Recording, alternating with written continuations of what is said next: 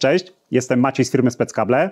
W dzisiejszym filmie przedstawię Wam najpopularniejsze detektory kabli oraz szukacze par przewodów z naszej oferty. Omówię czym się od siebie różnią i pokażę w praktyce jak działają. Zapraszam na odcinek.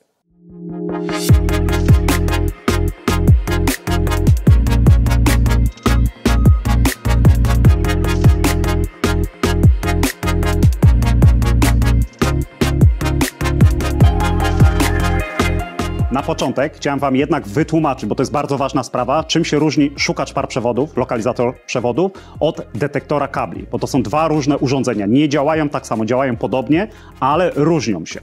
Szukacz par przewodów, czyli lokalizator, składa się zazwyczaj z dwóch urządzeń. Pierwszy to jest generator, który yy, wysyła sygnał, zazwyczaj to jest 1 do 1,5 kHz.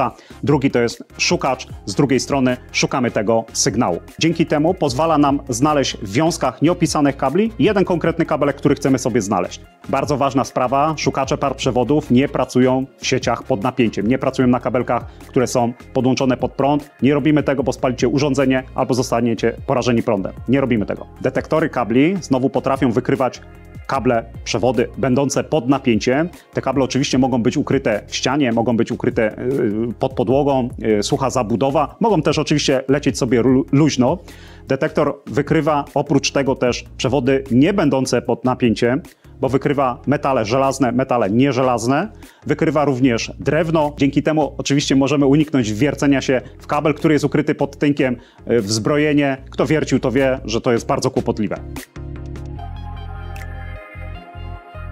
Zacząłem Wam na początku opowiadać o szukaczach par przewodów, lokalizatorów przewodów, czyli popularnych y, urządzeń do przedzwaniania kabelków. A teraz dla odmiany mam tutaj detektory metali firmy Neo i firmy Vintac. Jak widzicie, wymiarami są bardzo zbliżone. Zacznę może najpierw opowiadać o popularniejszym, czyli firmy Neo. Yy, kompaktowej budowy, mieści się ładnie w rękach. Ma tutaj takie gumowe elementy zapobiegające wyśliźnięciu się z dłoni. Naprawdę fajnie, mocno się trzyma. Ma wysoką szczelność IP54, czyli może pracować też w trudnych warunkach. Oczywiście jest standardowo, jak każdy porządny miernik, jest zasilany baterią 9V tutaj z tyłu. Z tyłu oczywiście też mamy sensor do wyszukiwania. Przykładamy go do szukanej powierzchni i lecimy sobie i wyszukujemy. Teraz chciałem Wam opowiedzieć, co potrafi ten detektor NEO. Najpierw go sobie włączę. Ten detektor ma dwa tryby sygnalizowania. Jeden jest to sygnał wizualny, czyli zielona lampka świeci się, jeżeli nie ma kontaktu, żółty, jeżeli się zbliżamy i czerwony, jeżeli jest kontakt, oraz oczywiście sygnał dźwiękowy. Jeżeli Wam przeszkadza ten sygnał dźwiękowy, naciskacie te dwa guziczki, czyli lewy i prawy, i macie sygnał dźwiękowy wyłączony. Ten sygnał oczywiście włączacie tak samo, czyli naciskacie te dwa przyciski. Ja wybieram sobie tutaj drewno, dajemy chwileczkę, żeby sensor zaczął pracować. Mamy wybrane. Następnie podnosimy go do góry i wybieramy sobie metal.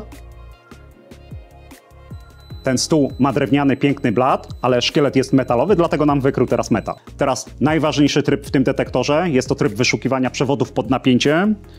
O, tutaj sobie przejadę, lampka świeci mi się na zielono, nie mam sygnału dźwiękowego, nie mam, nie mam prądu w tym biurku. Lecę sobie dalej. O, i sprawdzę tutaj na ścianie.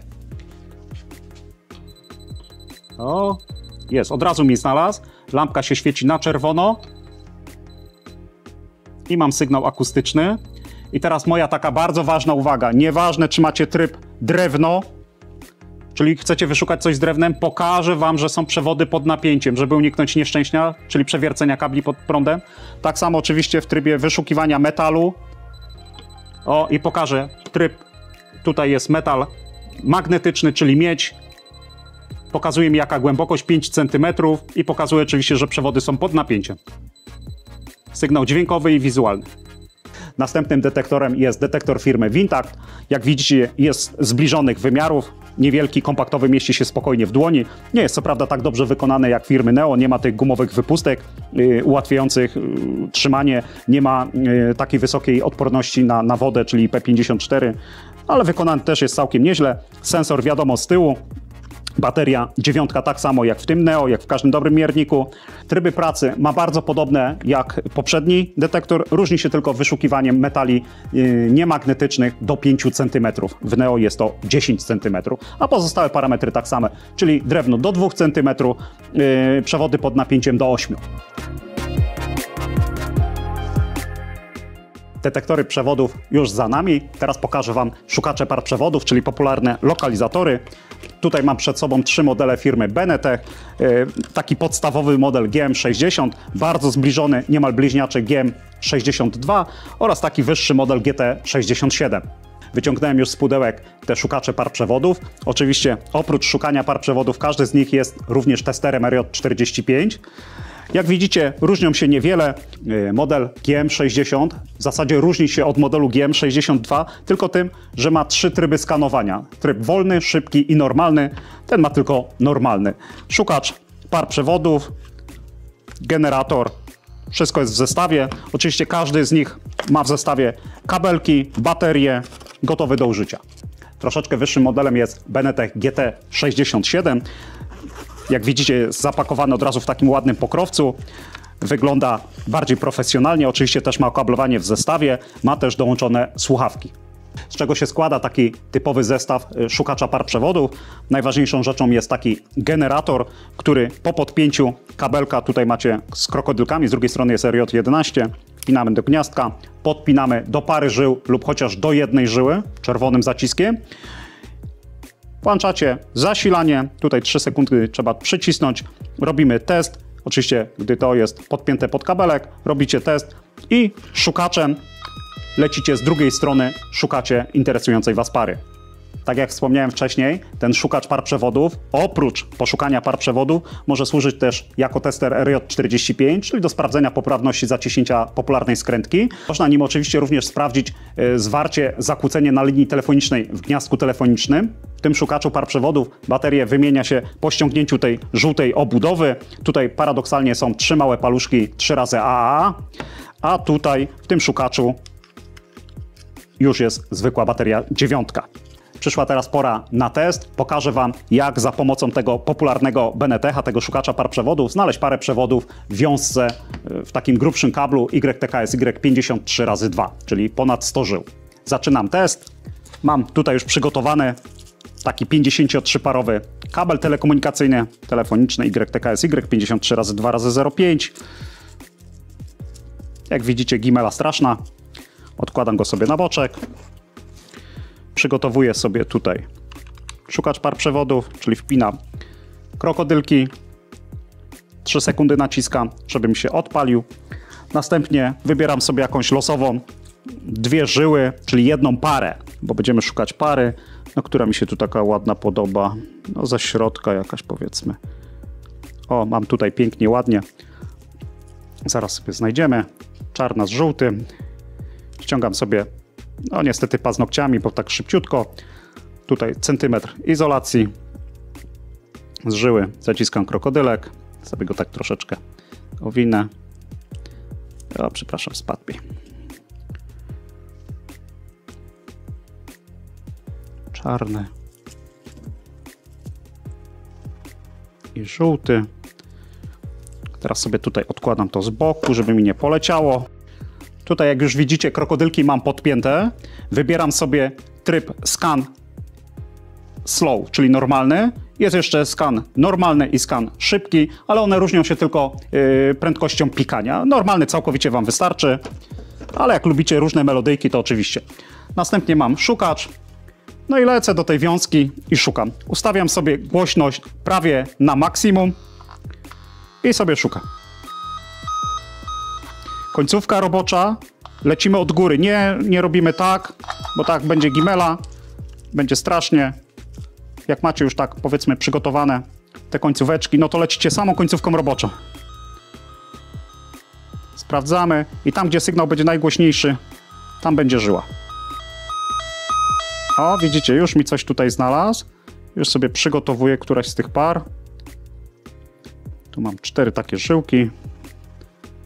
Już sobie lecę. O, słychać różnicę.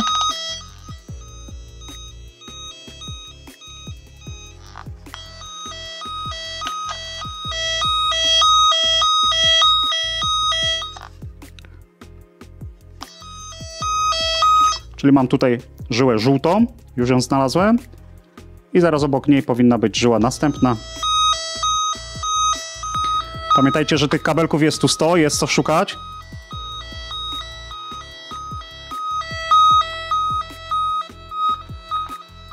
Ja coś tutaj mam.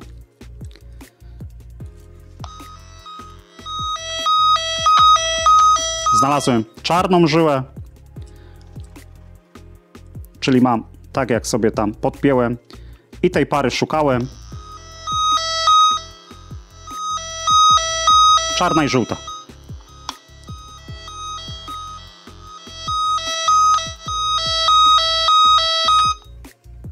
Bez problemu się udało, a pamiętajcie, że tutaj jest ponad 100 żył.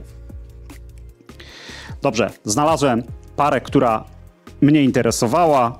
Tester, szukacz wyłączę, kabelek odepnę. Pamiętajcie, że również za pomocą takiego lokalizatora nie tylko znajdziecie kable telekomunikacyjne, czy tam skrętki komputerowe, znajdziecie też koncentryk, albo jeżeli podczas remontu macie obcięte kabelki prądowe, oczywiście nie pod napięciem, przestrzegam, nie robimy nic pod prądem, bo może się to skończyć tragicznie. Możecie sprawdzić, jeżeli Wam wychodzi z gniazdka przy rozdzielni kilka kabelków prądowych, to również podpinacie i sobie testujecie, skanujecie dalej i znajdujecie. Te szukacze par przewodów mają wbudowane też testery RJ45. Są to oczywiście proste, ale do większości rzeczy Wam wystarczające. Mam tutaj akurat taki 5-metrowy patchcord. Jest co prawda zwinięty, wiem, powinno się robić, testować przewody tylko na rozwiniętych przewodach, ale podepnę to jest tylko na test. Włączymy go sobie z powrotem. Robimy test. Tu mam 8 żył. No, nawet dobry jest patchcord. Oczywiście, gdyby był ekranowany, zapaliłoby mi się ground, zero, uziemienie. Patchcord jest dobry. Ale mam tutaj specjalnie przygotowany taki uszkodzony ze zwarciami. Zobaczymy, jak on mi pokaże. No tutaj oczywiście widać z tej strony, że jest pacnięty, ale nie wszyscy o tym mogą wiedzieć. A ja już widziałem gorsze kabelki. Klienci nam przynosili. O. I tutaj mi pokazuje. Na tym szukaczu nie pokażę, że jest błąd, pokażę na tym drugim, na tak zwanym terminatorze, że są zwarte żyły i zamieniona kolejność.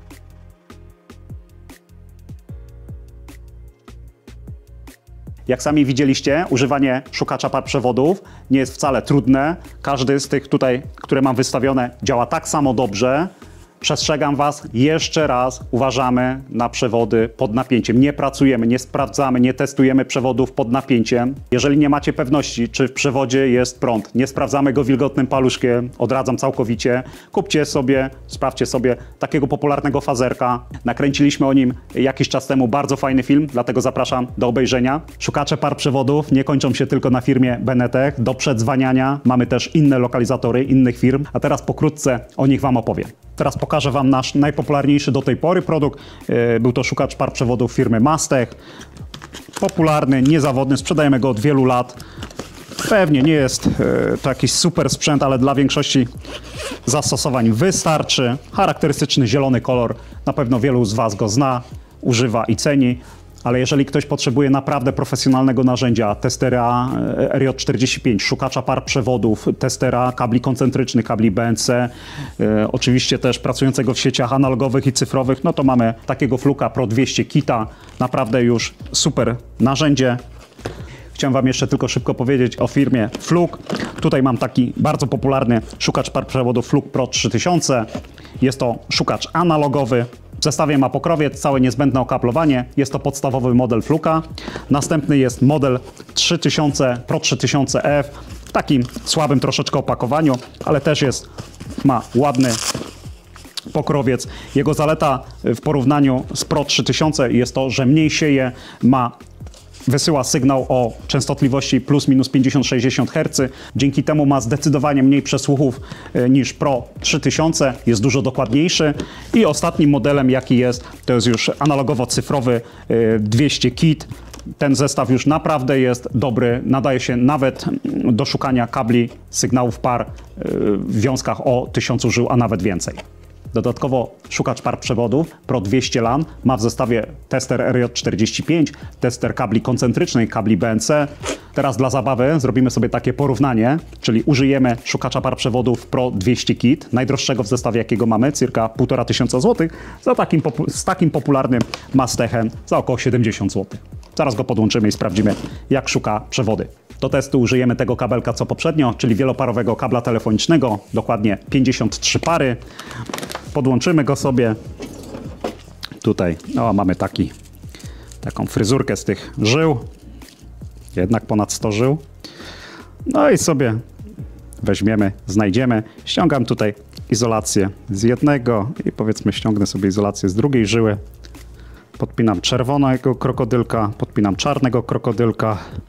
Tutaj też za namową kuby podłączę dwie żyły do fluka od razu. Zobaczymy, czy nie będą się zakłócały i zobaczymy, jak mi znajdzie. Dobra, ale trzeba okablowanie, Kubuś. No, chciałem ci mówić, ale myślałem, że myślałem, że... Że myślałeś, że wiesz. A skąd ja mam wiedzieć?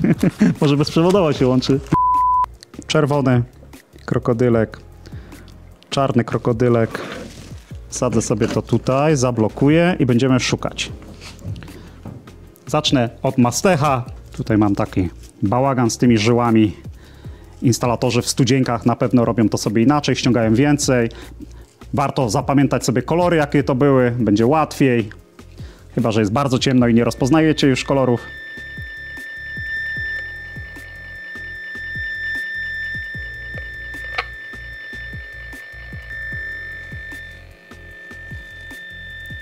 Tak jak mówiłem Wam wcześniej, warto zapamiętać sobie, jakie to były kolory, ułatwią Wam.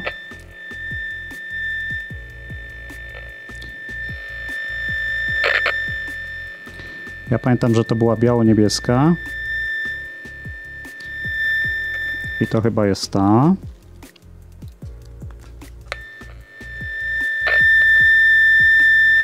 Jak już znaleźliście tą żyłę, ja tutaj wydaje mi się, że znalazłem już biało-niebieską, warto ją sobie w jakiś sposób odznaczyć, odseparować, żeby uniknąć pomyłki. Ja sobie tutaj zagnę na przykład.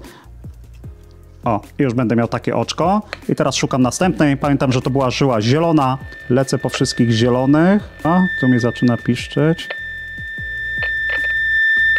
O, i mam ciebie. Jest. Jeszcze raz sprawdzę. Tak, zdecydowanie najgłośniejsza. Zielona. Biało-niebieska, zielona znaleziona. Zobaczymy, jak sobie za chwilę fluk z tym poradzi. No tym nie było najłatwiej, nie ukrywam, ale znalazł. Po dłuższym szukaniu pamiętajmy, że tu jest 100 żył. Teraz zrobimy to samo, ale za pomocą fluka. Tego sobie już wyłączymy. O, teraz mam tutaj fluka y, 200 kita. Zobaczymy, jak on sobie poradzi. Cyfrowo-analogowy. Mam tutaj wyszukiwanie kabli. Szukam, pamiętam, że to są dwukolorowe kable. Niebiesko, taki fioletowy. Patrzę, gdzie są te żyły. Tu jest jeden, ale to nie jest on. Ten też nie. O, znalazłem pierwszą. O, tu mi pokazuje taki wskaźnik. Pierwszą żyłę znalazłem, zaznaczam sobie. No, no, dużo szybciej poszło to niż mastechem. Teraz szukam następnej.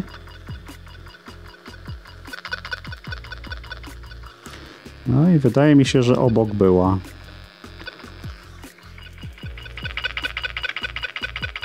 I tak jest. Wiecie co? No, poradził sobie zdecydowanie szybciej. Od razu mi znalazł dwie te same żyły.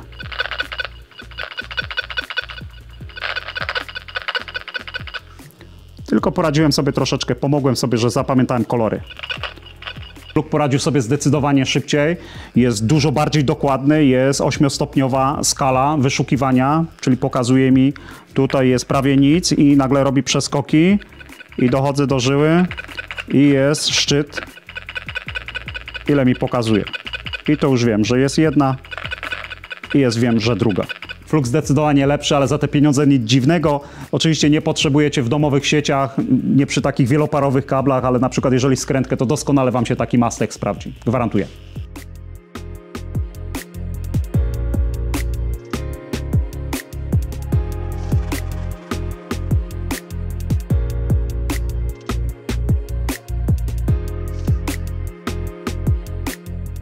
Na zakończenie tego filmu chciałem Wam jeszcze raz przypomnieć, czym się różnią szukacze par przewodów od detektorów wykrywaczy. Przypominam raz jeszcze, wykrywacze detektorów służą przede wszystkim do wyszukiwania ukrytych przykład w ścianach przewodów, kabli, elementów metalowych, prętów zbrojeniowych czy przykład gwoździ. Szukacze par przewodów znowu służą do wyszukiwania kabli, par, najczęściej par kabli w pękach kabli. Jeżeli na przykład macie kilkadziesiąt skrętek, kilkadziesiąt koncentryków, wiele kabli jakichś wieloparowych, to jeżeli chcecie znaleźć jakiś określony kabelek, używacie szukacza par przewodów. W naszej ofercie mamy naprawdę i budżetowe szukacze, lokalizatory i detektory, jak i naprawdę marki premium, czyli na przykład Flug. Szczerze Wam polecam, nawet przy okazji niewielkiego remontu, jeżeli nie wiecie, co Was czeka w ścianach, yy, w listwach przypodłogowych i tak dalej, chcecie uniknąć kosztownych awarii, warto sobie zakupić albo chociaż pożyczyć od przyjaciół, rodziny, znajomych taki albo detektor metali, albo szukacz par przewodów. Warto zwłaszcza mieć takie narzędzia yy, podczas remontu w starym budownictwie, gdzie ściany są naprawdę pełne niespodzianek, kable nie są opisane i ten sprzęt naprawdę Wam pomoże. Ci, którzy mają jednak większe potrzeby, na przykład w serwerowniach, jakichś większych pomieszczeniach, gdzie jest naprawdę dużo kabli, to wtedy warto zainwestować w coś lepszego, czyli na przykład takiego fluka. Mam nadzieję, że dzisiejszy film objaśnił Wam troszeczkę zasadę działania takich narzędzi, detektorów oraz szukaczy par przewodu. Zachęcam Was jednocześnie do subskrypcji naszego kanału, żebyście byli na bieżąco z naszymi najnowszymi filmikami. Do zobaczenia, serwus, cześć!